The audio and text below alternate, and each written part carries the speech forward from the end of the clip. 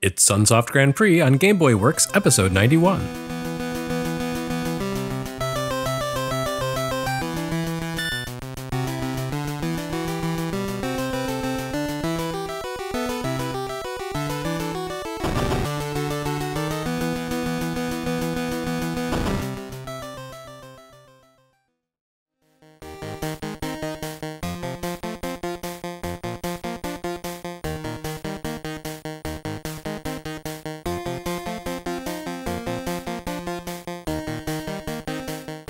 Altogether, European Game Boy fans received localized versions of about 16 or 17 Japanese games that never made their way to the US. With Sunsoft Grand Prix, the series is already up to three. Of these three, this game's absence from American retailers makes the most sense. Boulder Dash was always bigger in Europe than in the US, whereas Othello's absence was downright bizarre. Sunsoft Grand Prix, on the other hand, continues the pattern we've seen on NES Works of publishers preferring not to publish their Formula One racers in the US. Americans just don't seem to be all that crazy about F1 racing outside of the famous Indianapolis 500.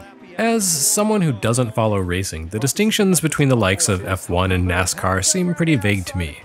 Where it's easy to see the unique nature of something like the Paris Dakar Rally, which involves driving across multiple continents on actual roads, F1 is your classic closed circuit race that sees cars speeding around and around a rounded, elongated track against seemingly identical cars. Formula One specifically involves the use of open wheel cars, and as it happens, is basically the ultimate evolution of go karting. Or maybe go karting is F1 diminished for the masses.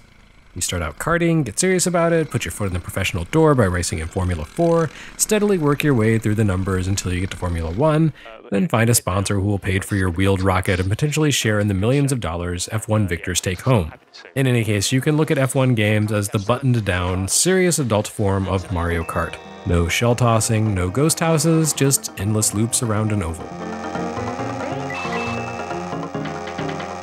The biggest difference between F1 racing and stock car racing is that F1 vehicles are purpose built to be fast, light, and demonstrate razor sharp handling and performance. Stock cars, as the name suggests, are more like standard road legal vehicles modified for speed and handling, and as such can't reach the insane top speeds of F1 cars. Anyway, the point is, Europe loves F1. You might also assume that Europe also loves Sunsoft Grand Prix, but in point of fact, I've been unable to find a single substantial review or retrospective on the game under its localized title or its original title in Japan, F1 Boy. Despite its localized release, it seems to have slipped beneath the waves of anonymity. Like most sports and racing games that don't involve Mario, really, people play them, enjoy them, then move along without the need to dwell over long on their memories. Sunsoft Grand Prix does have the distinction of being the Game Boy's first good racing game. Well, I guess Motocross Maniacs was pretty good, but it wasn't really your typical racer. Whereas this is very much your traditional top down F1 racer. It doesn't try to be a platformer like Motocross Maniacs, and it doesn't involve any misguided attempts at goofy half pipe tricks and cheap track hazards the way Dead Heat Scramble did. It's simply a race for the pole position around the convoluted tracks against seven other competitors, with the prize going to the car that manages to place first at the end of 3 or 30 laps.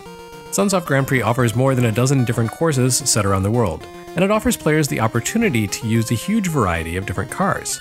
You can select automatic or manual transmission, the size of your engine, and more.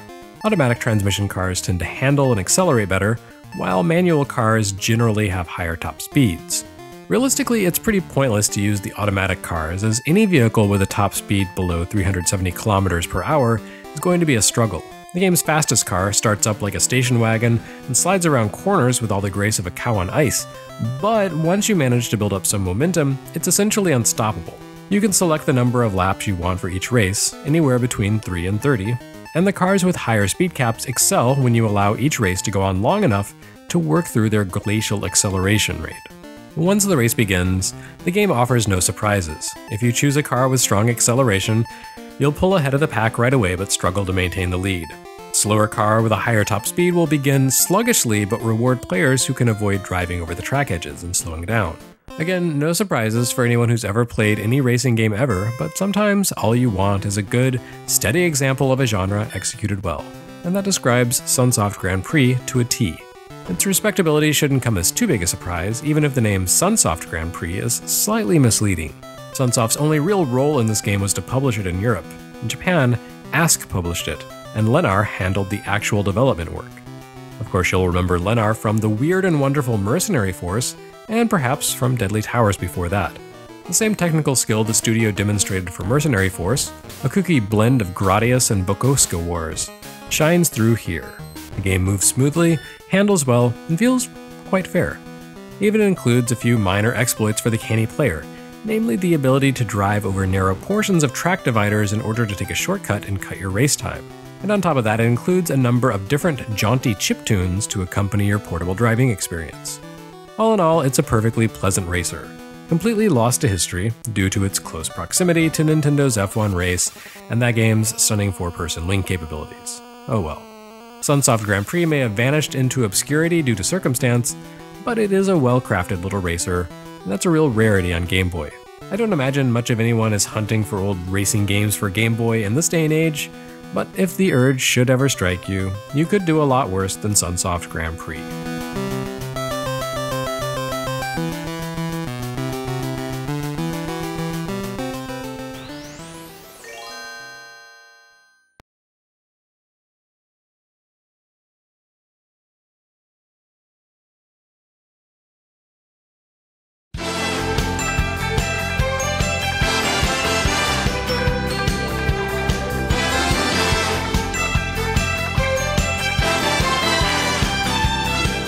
Next on Game Boy Works, it's your old pal, Jaja Maru.